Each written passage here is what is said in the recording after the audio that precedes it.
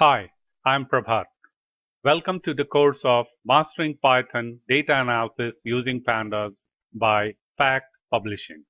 I'm an architect and advanced analytics manager. I have several years of experience in architecting and implementing solutions on big data, SAP, and mobile. I also specialize in Python programming and Hadoop. This course overview explains details like data ingestion, data wrangling and munging, data analysis, and different computational tools. So this video will give you a glimpse of all the details which we are going to cover up as a part of this course.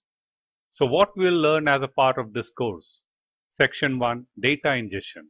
In this section, we'll see how do we write or read data in different formats such as text format, Excel, HTML, databases, and HDF5 format. Section 2 Data Wrangling and Munging. In this section, we'll see how do we manage missing value set, how do we manage the transformation on the data set, how do we manage the different operations of the string, how do we manage combining and merging data set. Section 3 Data Analysis.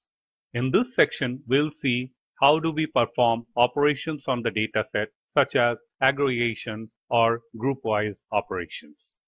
Section 4. Data Computation.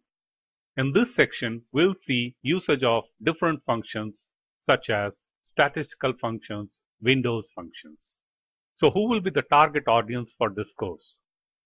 So the target audience will be a programmer who's familiar with basic Python, but it doesn't mean that this course is not suitable for programmer who is not comfortable with Python or who has not done anything earlier in the Python area. Because this course starts with the basic and takes you to the advanced level.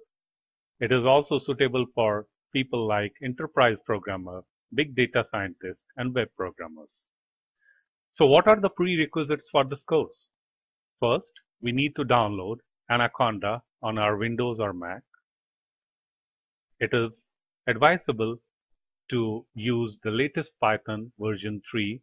Currently, it is Python 3.6. Then usage of Jupyter Notebook, which comes as a part of Anaconda installation. Basic knowledge of programming. And it is always nice to have an understanding on Python programming. So at the end of this course, what are we trying to achieve? We'll achieve how to use data ingestion by reading and writing text, XML, HTML, database, Excel, and HDF5 data. We'll see how to use data wrangling and munging using transformation, missing data, merging dataset. We'll see how to use data analysis using aggregation or group-wise operations on the dataset.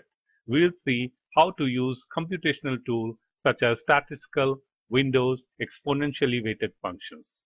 Thanks for watching this video.